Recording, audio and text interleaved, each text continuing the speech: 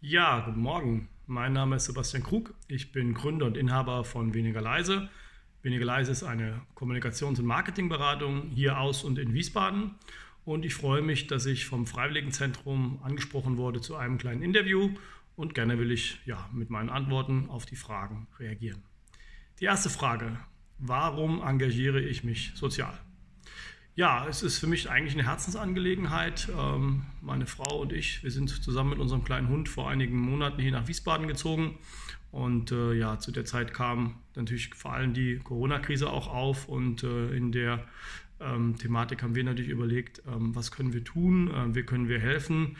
Ähm, und äh, es war für uns irgendwie naheliegend zu sagen, wir unterstützen diejenigen, denen es irgendwie schlechter geht oder wir unterstützen Prozesse, bei denen man sich einbringen kann. Und äh, glücklicherweise hat die Stadt Wiesbaden mit dem Freiwilligenzentrum Wiesbaden hier genau die richtige Anlaufstelle. Ähm, eine tolle Organisation, ein toller Verein, wo man sich eben sozial engagieren kann, wo man sich einander helfen kann. Ähm, denn gemeinsam ist weniger einsam. und das ist natürlich äh, auf jeden Fall genau das Richtige für mich.